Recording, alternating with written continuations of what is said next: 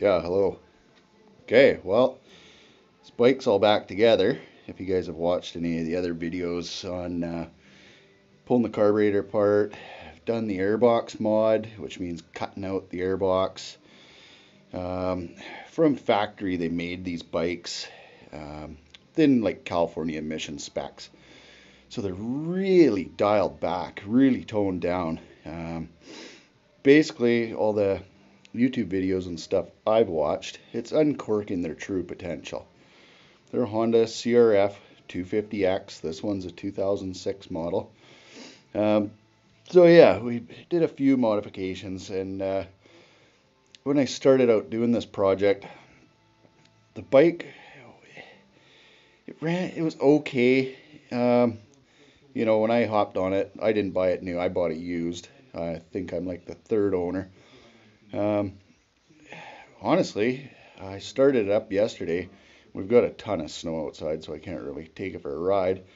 But just initial startup sure seemed to be uh, what a difference right out of the box. Um, like I said, I did the uh, airbox mod, which means um, from JD Jetting, they recommend to just cut a four inch opening out of it.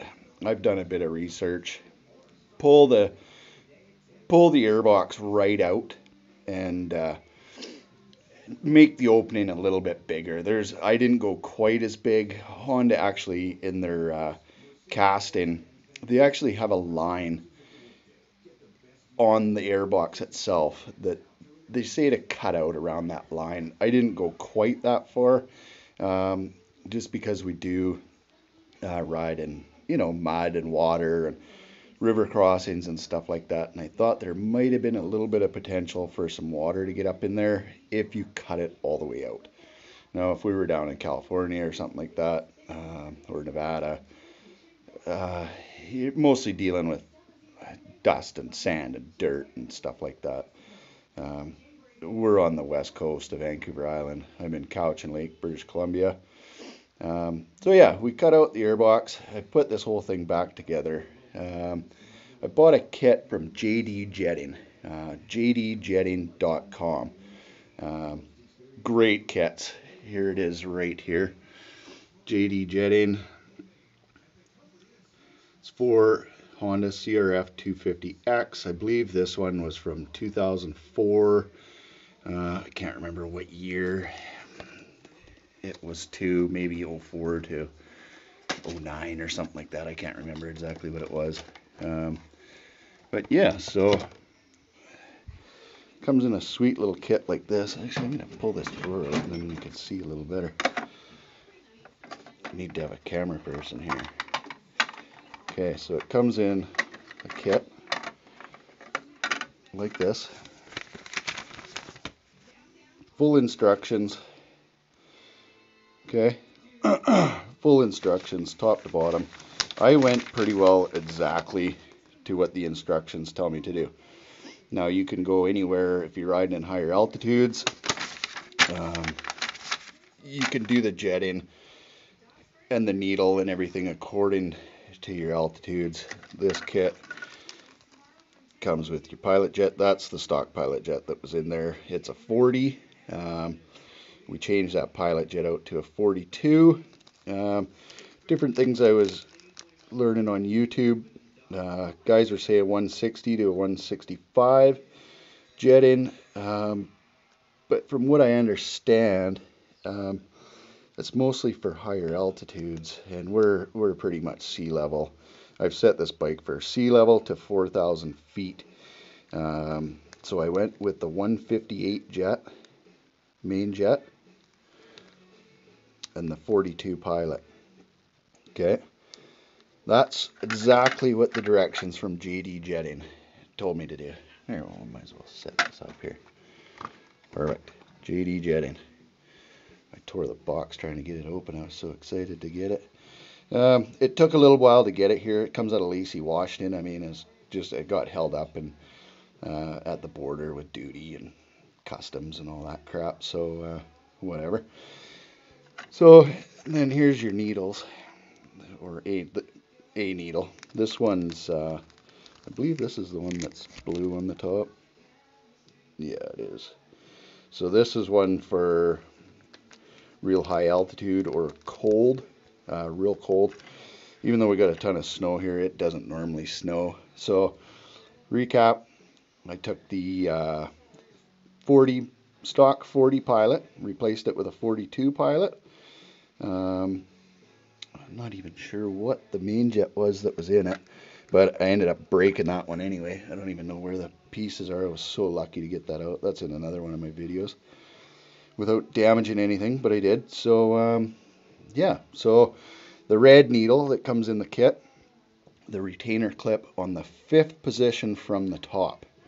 Okay, so that's a 40, 40 stock pilot, changed it out to a 42. And like I said, I can't remember what the jet was. Where is it? Do I have it here? Yeah, I do. What is it? I can't see. Oh, it's a 130. I don't know if you guys can see that. It's a 130. How restricted was this bike at one time? Okay, so we went from a 130 to a 158 main jet. Okay, and then they're a little bit of a trick to get back together. Uh, oh, any other tips I can think of? Uh, the uh, cold start plunger. It's tough to get, but I able to uh, get it back in once I had the carburetor up into the frame of the bike. A uh, little bit of work.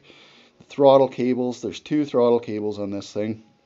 Um, so when I took them apart, so that I didn't mix them up, they've got a pull and a push. Basically, uh, the push is a return. It, it helps the throttle spring come back.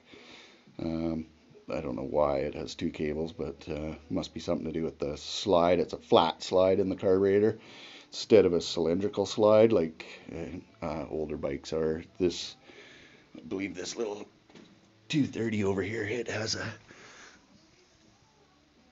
yeah, it's got a cylindrical type slide, and this is a, a flat slide in these things. It's got little wheels on it and stuff.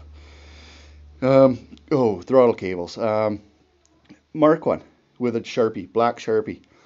Mark the cable itself, the little lead knob, and put a black mark right on the um, the uh, the throttle throttle linkage itself, so you know easy. Makes it simple.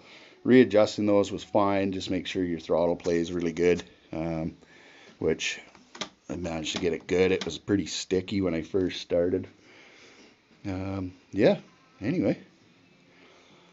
I think we should try firing this thing up. It will be a cold start. I haven't started it yet today. Um, I did yesterday. And man, this thing would not idle properly. It was fluctuating up and down with the idling. Um, yeah, you couldn't keep it running. It was really hard to start when it was cold. Didn't seem to have much of a problem yesterday. I had the idle turned up a little too high, but whatever. I dialed that in. Oh, oh, right, right, right. Um, air fuel mixture screw. After you've done all this jetting, you want to turn that screw in clockwise until it's lightly seated.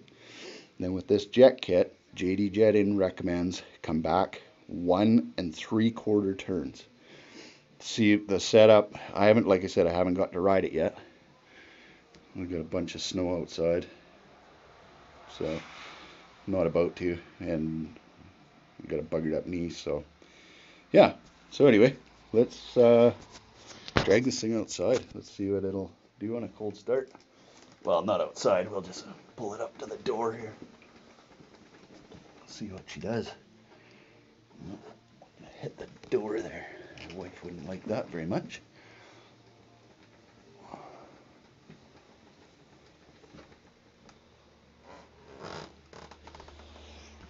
And this bike's got a phone holder on it. It just I use my phone for a GPS.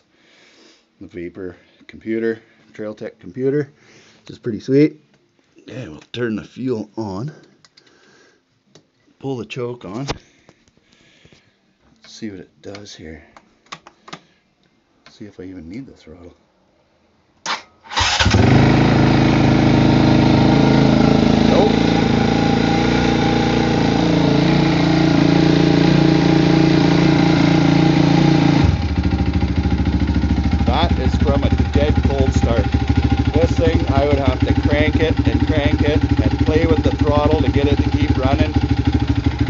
this is after the JD jetting kitting I did. Yeah, this thing, it's all road legal. It's all set up with turn signals and everything. Uh, it was done back in the day when you were still allowed to do that. But anyway, unbelievable difference. Absolutely unbelievable. It's night and day difference. Oh, I did. Uh, take that out of your exhaust too. Free that baby up a little bit, you know. Quick, simple. It's four bolts on the back of the muffler. I think they're eight mils. Uh, and then pull it out. It'll have the spark arrestor screen and one little Torx head. I can't remember the size but. Just a little guy. There it is, right there. Pull that thing out of the muffler. This cone comes right out simple. I haven't put any of my tools away yet, but whatever. Have a listen to this thing, eh?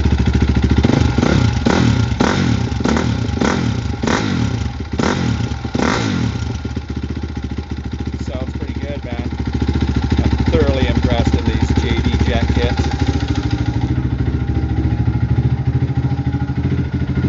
JD Jetting. There you go, I'll block some of the light out jdjetting.com. Can't believe what a difference that thing makes. You know, while we're at it, too, I'm going to do an oil change here. Um, buy good oil. Good oil. Don't skimp on it. This Lucas is made for wet for clutches. That's what I'm going to put in the transmission side. Royal Purple, as far as I'm concerned, you can never beat it. Uh, just a good, you'll pay for it. Definitely you'll pay for it, but uh, I think the Lucas was like 24 bucks a liter, and the Royal Purple's like 15, but whatever, fully synthetic. Yeah, this thing's running mid now, man. Check out the RPM. Before this thing would be singing all over the place. You couldn't get it to stay still, and that's just with a that's an absolute cold start.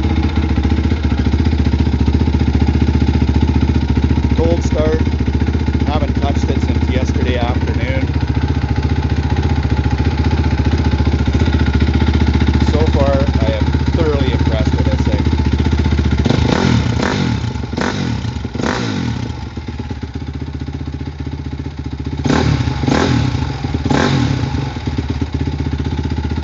Okay.